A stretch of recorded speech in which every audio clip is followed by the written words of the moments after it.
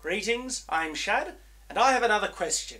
And the reason why I'm putting this question out here to you guys on YouTube is because the last question I asked had such a phenomenal response. And honestly, guys, it really helped me out. And just to follow up on the last question I asked in regards to swept hilts versus cross guards, um, you guys really helped me come to a conclusion. And my conclusion is, is that Swept hilts are going to be far more common in the world setting of the book I'm currently working on uh, than crossed you know, cross guards. The answer really was fairly unanimous in regards to cross guards being the thing. And if you're wondering what the question is, and you you know you haven't watched the previous video, well, you can watch the previous video to understand what I'm talking about. But yeah, I've come to that as well. So in my book setting, even though shields, gauntlets, bucklers, daggers are very common in the world, even when people are using shields, I've come to the decision for my book and in that setting, that people will still more predominantly use swords that have swept hilts over crossguards, again, even when using shields. So, you already know what my new question is by the title of this video, how magic can or should affect the law of conservation of energy. This is really interesting.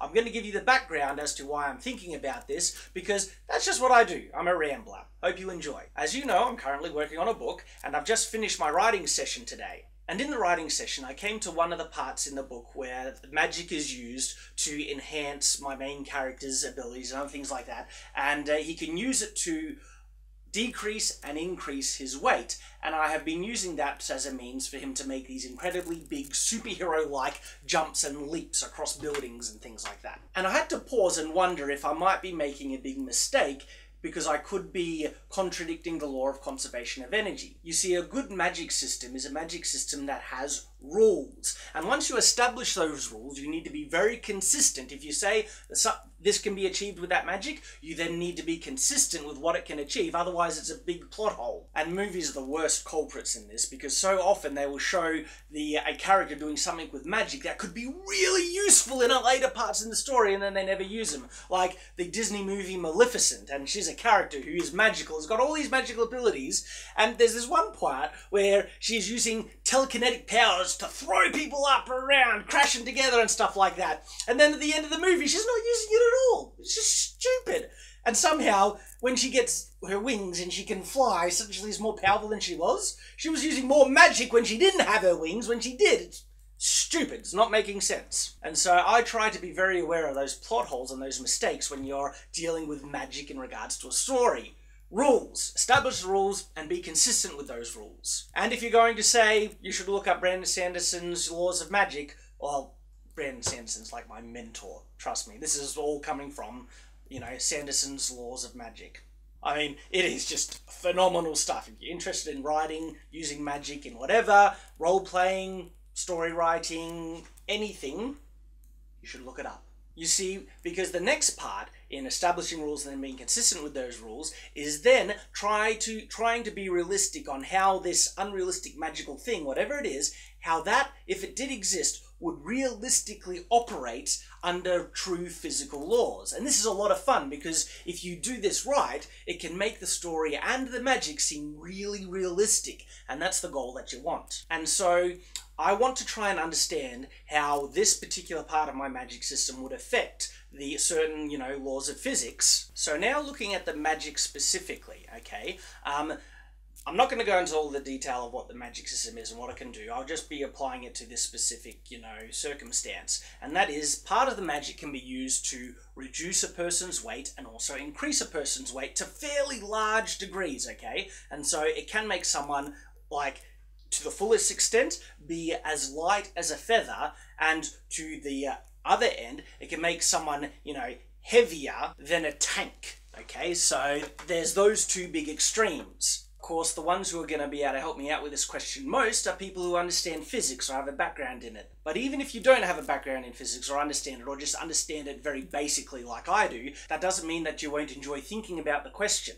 Now, according to my very basic understanding of the law of conserva conservation of energy, is if you jumped and were flying through the air and suddenly your weight increased, your momentum and velocity would reduce very sharply because in a closed system the energy you can't create new energy out of nowhere and you can't suck it out into nothing. Energy is always consistent. The thing is though in a jump the enhanced or increased weight isn't being created or in the system itself. It's actually being fed into the system.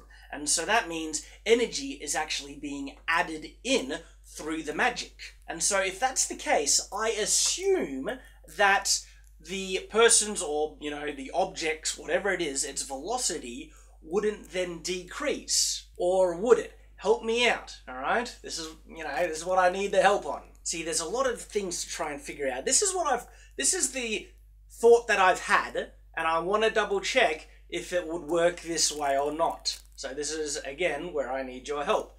So how I have it at the moment, the way that this character enables himself to do these incredibly big leaps through using a magic system, is that at the very moment before he jumps, he reduces his weight to as almost as light as a feather. And so all that energy and strength that his muscles and body can produce is then, of course, can be have a far greater effect at, in the speed in which it can um, reach when the leap or jump is just initially done. Now, as soon as you jump, there's going to be a lot of forces that will try and slow you down. For instance, wind resistance. Uh, and especially if you weigh that light, uh, the wind can slow you down quite far and you wouldn't jump very far at all if you're just reducing your weight. The next thing that I have him do, the very moment he leaves the ground and is at his highest, like, you know, highest speed, he increases his weight to a huge level. Now, if this was in a closed system, I would understand it that that would almost bring him to a standstill. He'll jump, and if his weight is suddenly increased, that would make him stop. My thought is that by feeding in new energy through the magic, and so the power source of the magic is being funneled in to have a supernatural effect to increase his weight, alright, and therefore more energy is being fed into the system, and because of that, I'm I'm trying, I'm thinking, could that work that way that his speed would then not be reduced? Now, if that is the case, if his speed is not reduced, there is a set amount of energy and mass in that system.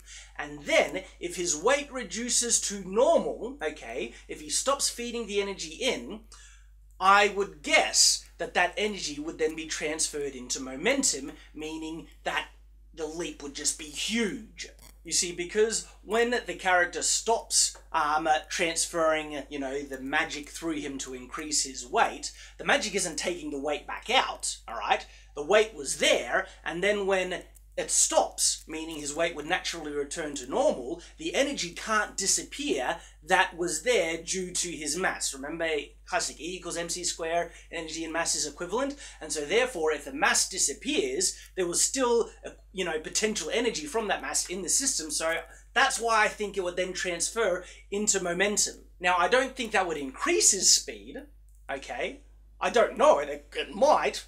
Help me out, physicists but if it doesn't increase his speed, it would maintain the velocity or speed that he initially achieved from the jump when he was so light. Because if increasing his weight doesn't slow him down, it means he was moving at a pretty high speed at a very high mass as well. Or would it have a completely different effect? Would there be far less inertia being played upon him if he has far less mass now, meaning it would take far le- it would take far less energy for him to be slowed down? I'm just not smart enough to figure out exactly what would happen. So this is what I do have currently happening in the book, and please fill me in on the things that I might be getting wrong.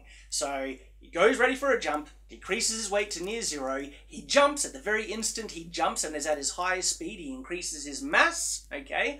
And I'm assuming then if the mass is coming through an external source, it's energy being fed into the system, if he then makes his weight return to normal or even reduces his weight to half its natural level, so with would that have a big effect on him jumping further, or would just keeping his weight the same have the same effect in him jumping, you know, very, very far? Because if he had far greater mass, and he is able to make that mass at the level once he is at that high speed, it would take far more energy to slow him down purely because of inertia. And so would I then keep his weight at the heavy level once he's achieved that velocity at that weight?